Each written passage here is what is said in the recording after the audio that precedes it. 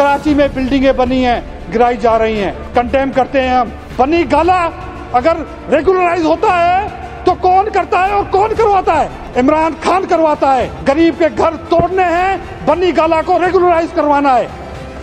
This is the ये ये इनका ये इनका मोराल है। ये इनकी पॉलिटिकल स्ट्रेटजी है कि अपना घर रेगुलराइज करवा दें और गरीब का घर गिरा दें। कराची में कोई सिंधी नौकरी नहीं कर सकता, कराची में कोई सिंधी रह नहीं सकता। आपकी भूल है, यहाँ पे जो सिंधी रहता है, उसको नौकरी करने का हक है, और वो नौकरी करेगा, और किसी में ज़रूरत रोक के दिखाए ये कौन सी बात हुई? आप हमेशा डिस्क्रिमिनेशन की बात करते हैं। जनाब स्पीकर सिंध में पोर्ट हमारे पास है। किसी और सूबे के, बलोचिस्तान के अलावा पंजाब और खैबर खैबर पख्तूनख्वा में पोर्ट्स नहीं है। एक स्कीम बता दें पोर्ट्स की। एक स्कीम पोर्ट की बता दें। फिशरीज हमारे पास है। फिशरीज की एक स्कीम हमें बता दें, इतनी बड़ी डिस्क्रिमिनेशन पाकिस्तान की तारीख में कभी नहीं हुई।